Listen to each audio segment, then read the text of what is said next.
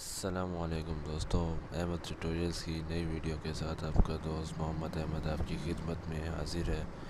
دوستوں آج کی اس ویڈیو میں میں آپ کو بتاؤں گا کہ آپ اپنے فیس بک فرینڈ لسٹ کو کس طرح ہائڈ کر سکتے ہیں یا کس طرح لوگوں سے اس کو چھپا سکتے ہیں۔ دوستوں یہ بہت ہی آسان سا پروسیس ہے، اس میں کوئی اتنی بڑی بات نہیں ہے، کوئی اتنی مشکل بات نہیں ہے۔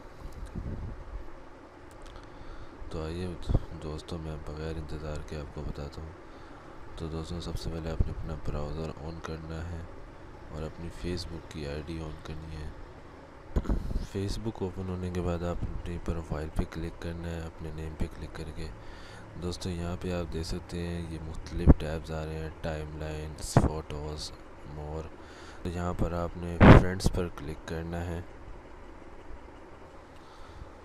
دوستو فرینڈ لسٹ اوپن ہونے کے بعد یہ دیکھ سکتے ہیں، یہ آپ کی فرینڈ لسٹ جو ہو رہی ہے، یہاں پر آپ دیکھ سکتے ہیں یہ پینسل کا نشان مینج لکھا ہوا ہے۔ اس پر آپ کلک کریں گے اور آپ اپنی ایڈٹ پرائیویسی پر کلک کریں گے۔ اس کے بعد ایک نئی ونڈو آپ کے سامنے اوپن ہو جائے گی، جس میں لکھا ہوا ہے friend list who can see your friend list یعنی کون آپ کی فرینڈ لسٹ دیکھ سکتا ہے؟ یہاں پر آپشنز دیے ہوئے ہیں آپ اس پہ کلک کر کے اگر پبلک کریں گے تو جو بھی آپ کی پروفائل پر وزٹ کرے گا، وہ آپ کے فرینڈز دیکھ سکے گا۔